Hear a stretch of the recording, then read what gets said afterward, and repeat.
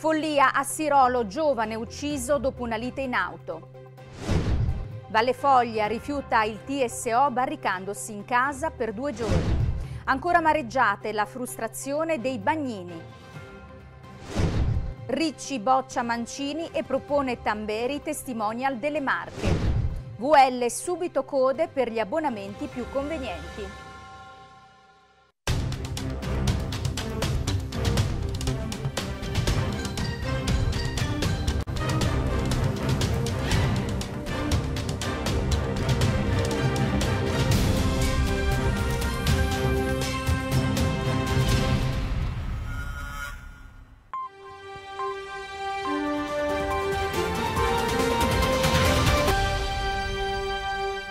Ben ritrovati al nostro telegiornale in questa edizione di oggi, lunedì 28 agosto. Apriamo subito parlando dello sconcertante omicidio avvenuto ieri a Sirolo dove un ragazzo di appena 23 anni è stato ucciso da un colpo di fiocina dopo una lite in strada. E allora vediamo il servizio.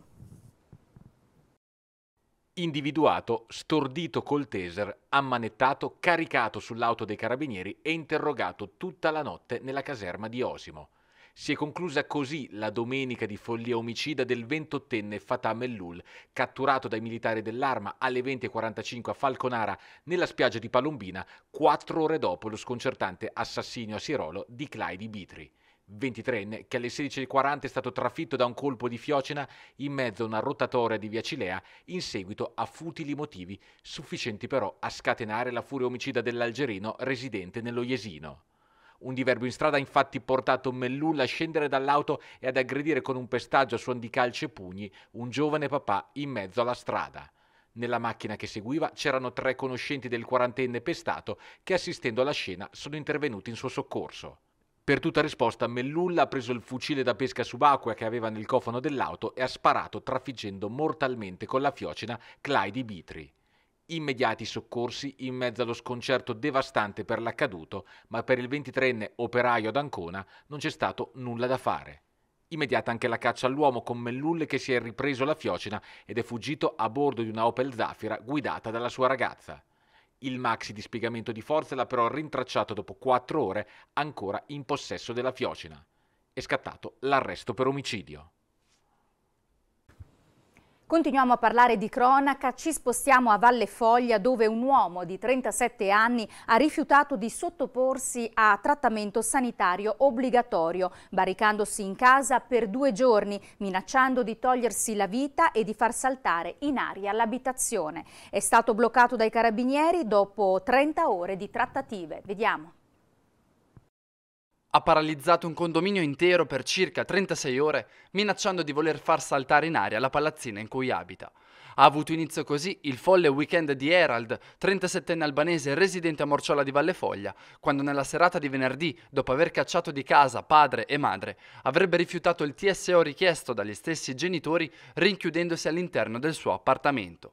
Alla vista dei carabinieri, sopraggiunti al civico 38 di Via De Gasperi per il trattamento sanitario obbligatorio, l'uomo, disoccupato e con già noti problemi psichici, avrebbe dato in escandescenza. Dopo aver minacciato di uccidersi e di far esplodere il condominio, le forze dell'ordine avrebbero sin da subito staccato luce e gas e fatto evacuare le 16 famiglie residenti nello stesso edificio. Poi è partita la mediazione con Herald, irremovibile dalle sue intenzioni di non aprire ai carabinieri. Ore e ore interminabili finché l'uomo non ha ceduto domenica mattina. Dopo un giorno intero e una notte passati in casa, attorno alle nove e un quarto l'albanese ha accettato la proposta delle forze dell'ordine di far fare una passeggiata al suo cane, un pastore maremmano che per tutto quel tempo aveva bloccato in appartamento con lui.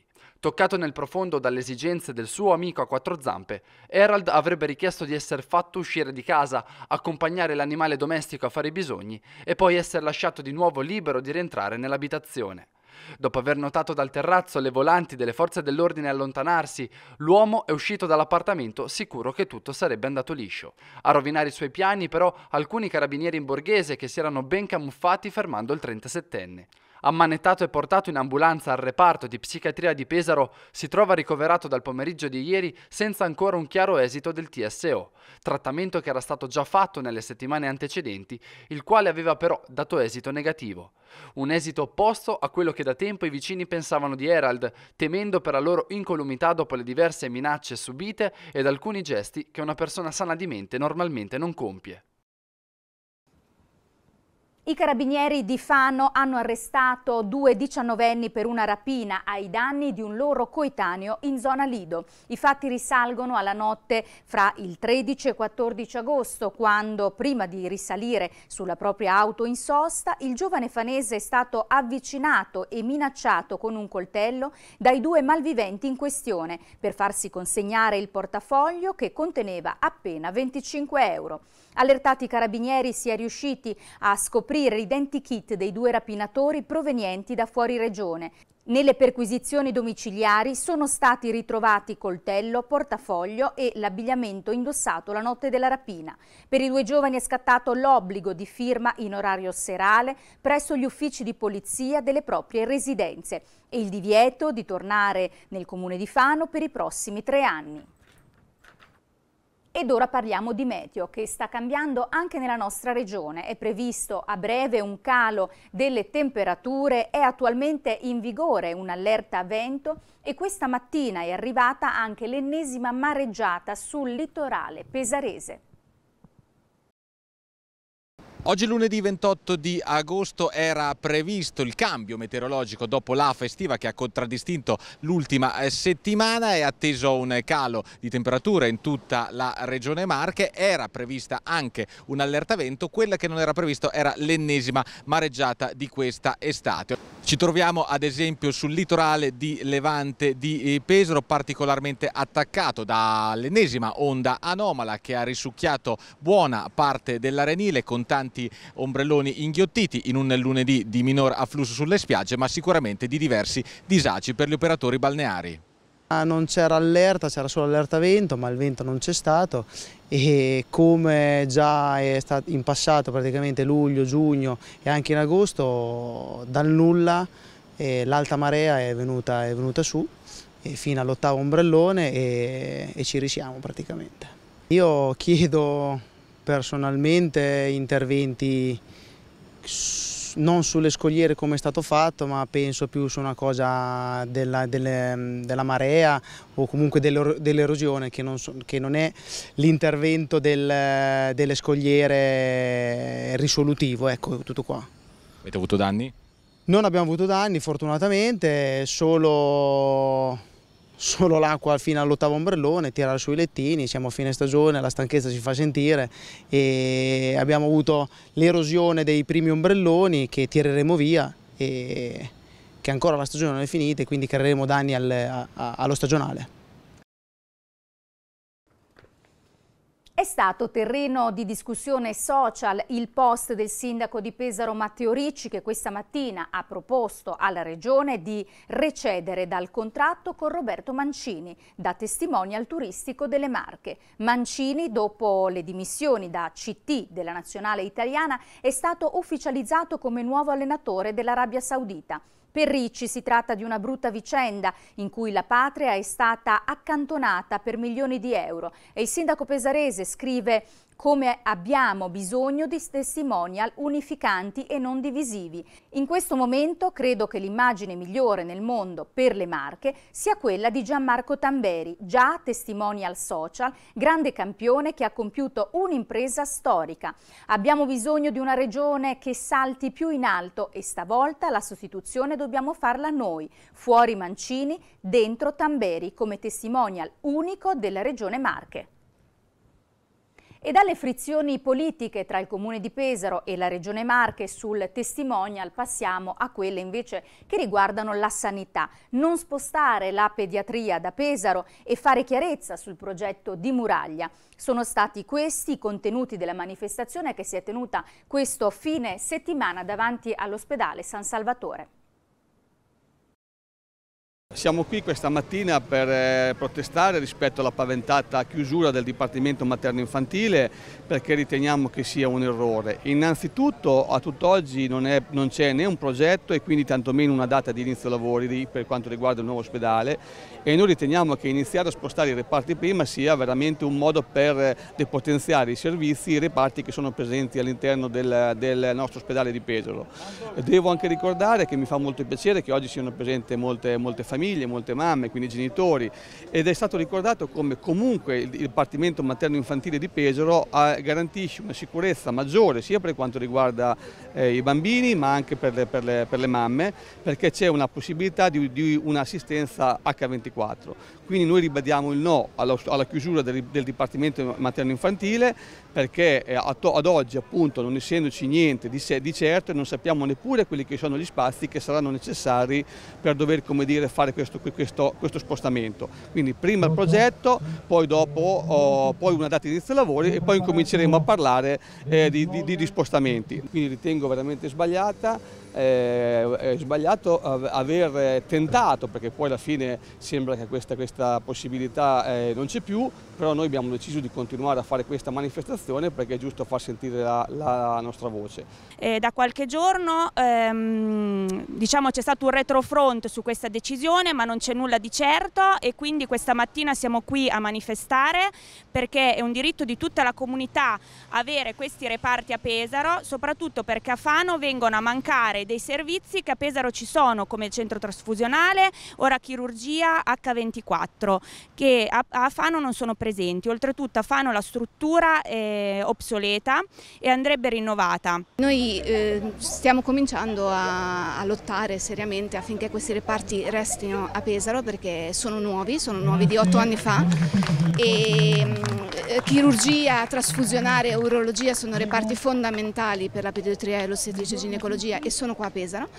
Fano è un, senza dubbio una struttura più obsoleta e più piccola e, e, quindi noi non troviamo una ragione logica affinché vengano trasferiti. Ecco questo. Non è questione di campanilismo, non è questione di mh, pigrizia nel percorrere 10 km, perché comunque in questi ultimi due o tre anni mol molte donne eh, hanno deciso di, eh, di partorire a Rimini, quindi non è questione di chilometri e mm, noi chiediamo che non vengano trasferiti perché è la cioè, noi vediamo una ragione logica in questo, è buon senso e quindi noi abbiamo avuto adesso delle rassicurazioni da parte della regione ma mm, siccome non c'è due senza tre noi siamo comunque qua a manifestare affinché si senta la nostra voce, la nostra volontà.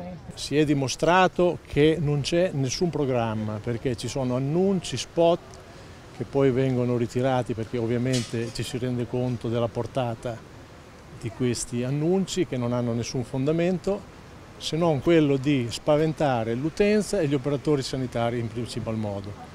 Oggi questo sit-in si conferma valido proprio per questo motivo, perché c'è un progetto importante del nuovo ospedale di Muraglia che questa giunta Acquaroli ha fortemente ridimensionato rispetto al progetto Ceriscioli da 600 a 360 posti letto e si fanno annunci di spostamento di reparti. Si è iniziato con la psichiatria, si, si è continuato con tutti i servizi residenziali appunto, della psichiatria fino ad arrivare ora al reparto eh, pediatrico, maternità eccetera. Chiediamo con questo sit-in, senza polemiche, senza simboli, senza bandiere, ma una cosa molto semplice, il progetto dell'ospedale nuovo di Muraglia. Dopodiché si valuteranno le ricadute sui reparti interessanti al nuovo complesso. Sto facendo una gran battaglia rispetto anche ai servizi legati alla psichiatria, perché anche questa storia di eh, anticipare lo spostamento della psichiatria e di tutti i servizi legati alla salute mentale reputo che sia veramente molto sbagliato, ma soprattutto farlo in anticipo, ma farlo andando a cercare locali in affitto quando abbiamo ad esempio l'ex manicomio di cui anni che ne parliamo, che potrebbe essere recuperato e potrebbe diventare veramente la sede per quanto riguarda tutti, tutte le persone che hanno problemi legati alla salute mentale. E come già trapelato dalle frasi degli esponenti PD e come rivelato nei giorni scorsi ai nostri microfoni dal consigliere regionale Nicola Baiocchi, sono arrivate rassicurazioni sul fatto che i reparti di pediatria e ginecologia dell'ospedale San Salvatore non saranno toccati. Sul tema sono intervenuti con una nota anche i consiglieri comunali pesaresi di centrodestra che hanno ribadito come la volontà politica del centrodestra regionale e locale ha portato solo pochi mesi fa al ripristino di tutti i servizi di pediatria e ginecologia spostati a Fano causa Covid dal PD. Ora non c'è alcuna volontà di tagliare nessun servizio per i bambini nell'ospedale di Pesaro, ma c'è piuttosto un'attenta valutazione di tutte le strategie per non dover operare scelte drastiche.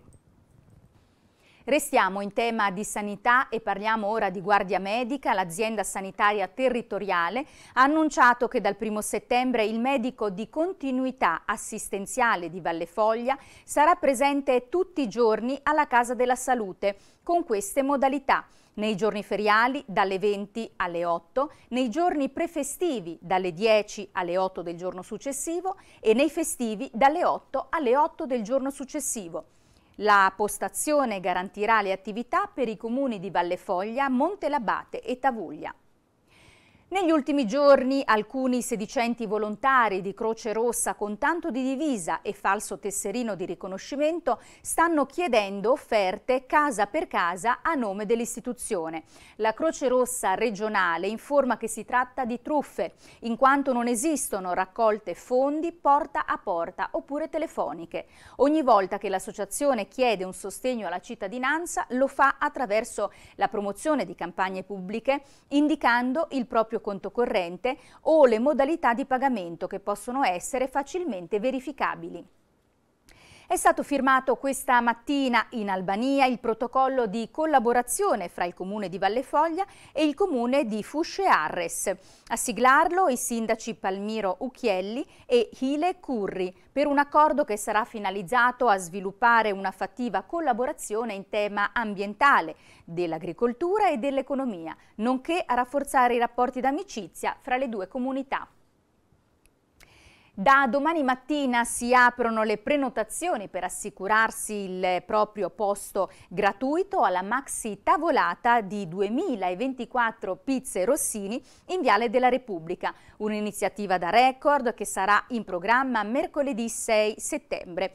Per partecipare all'evento basterà registrarsi e ritirare i coupon disponibili fino ad esaurimento posti, recandosi all'InfoPoint Pesaro 2024 in Piazza del Popolo 7 da domani, martedì 29 agosto, dalle 9.30 alle 12.30 e dalle 16 alle 19, oppure al gazebo Rossini 2024 che verrà allestito in occasione della Mezzanotte Bianca dei Bambini il 2 e il 3 settembre in Piazza del Popolo.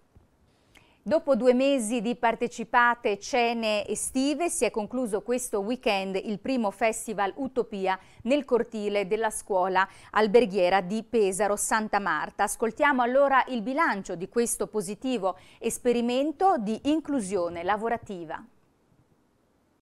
Il successo è stato il saper valorizzare le capacità di questi ragazzi e la grande solidarietà dei pesaresi perché abbiamo visto in questi mesi chiunque è venuto a cena ha fatto rete, ha fatto rete con la comunicazione anche online dove facevano le foto, facevano vedere che erano stati presenti al festival e questo ha permesso di farlo diventare sempre più grande. Il piacere di aiutare queste persone è di renderle partecipi alla vita ma soprattutto nel mondo del lavoro. L'integrazione nel mondo del lavoro è avvenuta da parte di questi ragazzi e qui la location che siamo è da ringraziare assolutamente il preside Roberto Franca che ha fatto un ottimo, eh, un ottimo lavoro perché ha anche aiutato, si è messo anche lui a servire ai tavoli in questi mesi e nello stesso tempo ha dato la possibilità loro di lavorare all'interno delle cucine della scuola. Quindi vanno solo i ringraziamenti e un grande applauso, ma soprattutto a voi ragazzi che vi abbiamo dato la possibilità di avere un futuro, di avere avere un lavoro anche perché in questi giorni sono stata contattata da alcuni imprenditori ma anche da altre associazioni che vorrebbero eh, prendere questi ragazzi a lavorare, quindi forza Pesaro, ci siamo riusciti, il progetto è andato bene. Tiriamo le somme mentre sta arrivando un sacco di gente, anche stasera che è l'ultima sera e probabilmente arriveremo a 500 presenze. Questo sta a significare che la cittadinanza ha risposto benissimo al Festival Utopia, ha compreso perfettamente la bontà di questo progetto, senza bisogno di tante spiegazioni, l'hanno compreso perfettamente e poi sono ritornati anche per la bontà del cibo e la bontà del servizio e, ehm, e questa cosa ci dà veramente una grande forza, siamo molto contenti contenti, stato, sono stati due mesi eh, intensi. L'idea era quella di avere una scuola, una scuola che potesse realizzare esperienze istituenti, le chiamo così, nel senso le esperienze per vivere il futuro oggi?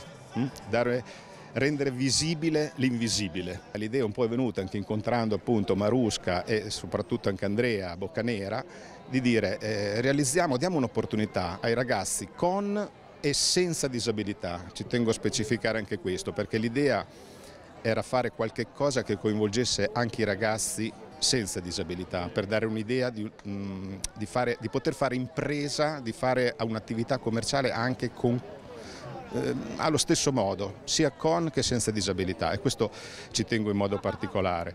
E in più abbiamo voluto un po' sfatare, secondo me questo si vede, io sai, sono nel settore della ristorazione, si è sempre fatto una gran polemica sui giovani di oggi che non hanno voglia di lavorare, specialmente se sono, eh, non so, mentre gli altri si divertono o sono in vacanza.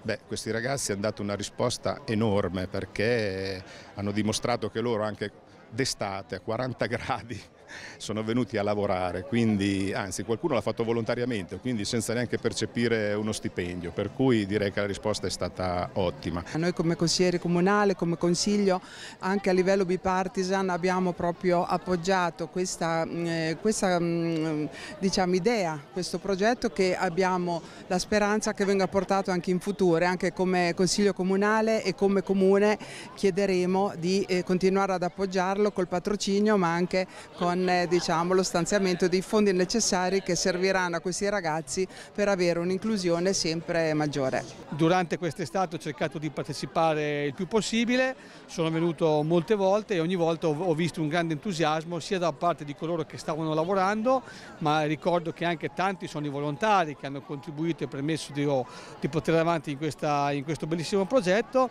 ma soprattutto vedere il sorriso di questi ragazzi che veramente erano euforici per tutto quello che stavano facendo. E chiudiamo questa edizione del nostro telegiornale parlando di sport. È partita oggi infatti la campagna abbonamenti della VL con file fin dall'alba per accaparrarsi le poche convenienti tessere alla fan zone. Vediamo.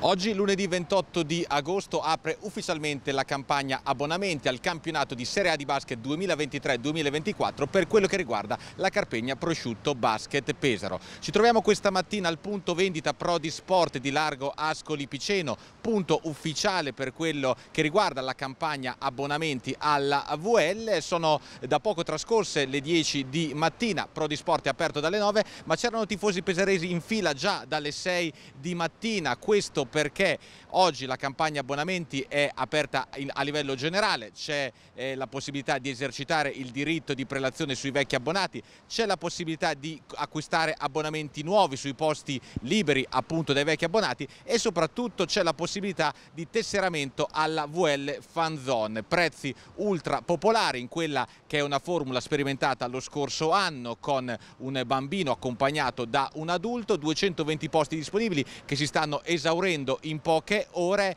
e con qualcuno, qualche fortunato, qualche eh, mattiniero della prima ora che è riuscito ad accaparrarselo e qualcuno che sarà costretto a rinunciare. Non mancano anche le critiche su una modalità organizzativa rivedibile. C'è gente che è venuta qui dalle 6, 6 e mezza di mattina e poi si ritrova magari che non riesce a prendere il biglietto desiderato, io parlo della fan zone e i posti sono veramente limitati e magari qualcuno ne prende 10 per, eh, per famiglia, quindi gli altri rimarremo probabilmente senza biglietto della fanzone. Ecco.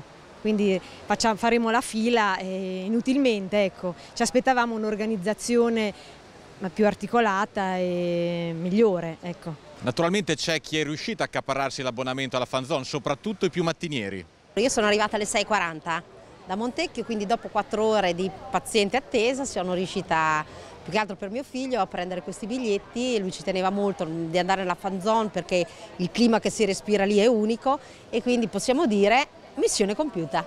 Ma ricordiamo che la vendita è aperta anche a tutte le altre tipologie di abbonamento e in questo caso la fila è stata assolutamente ridotta.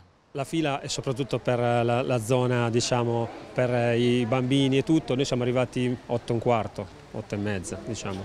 Abbiamo fatto presto perché è un abbonamento nuovo per cui ci sono posti liberi ancora e siamo entrati in un'altra un'altra zona, non è la fan zone ma è nuovi abbonamenti quindi scorre abbastanza velocemente. La fan zone invece è abbastanza, è abbastanza intoppata come fila. E parlando di VL, ricordatevi che insomma da ottobre partirà una nuova edizione del seguitissimo Insieme a Canestro su Rossini TV, come sempre il giovedì ci saranno delle grandissime novità, quindi restate collegati ai nostri social e seguiteci sul canale 80 per avere maggiori informazioni. Intanto è con grande piacere che andiamo a raccontarvi una nuova realtà che esiste a Pesaro e si chiama Casa Bulan, centro olistico, ve la raccontiamo perché appunto è un eh, nuovo centro, una nuova attività eh, pesarese che eh, racconterà i propri servizi. Vi aspettiamo quindi alle 21.20. E poi domani vi aspetto alla rassegna stampa Buongiorno Rossini alle 7.20 come sempre in diretta sul canale 80, in streaming sul nostro sito, sulla nostra applicazione che vi ricordiamo sempre di scaricare e anche sulla pagina Facebook. Ed ora vediamo come sarà il meteo per i prossimi giorni. Grazie per essere stati con noi. Continuate a restare su Rossini TV.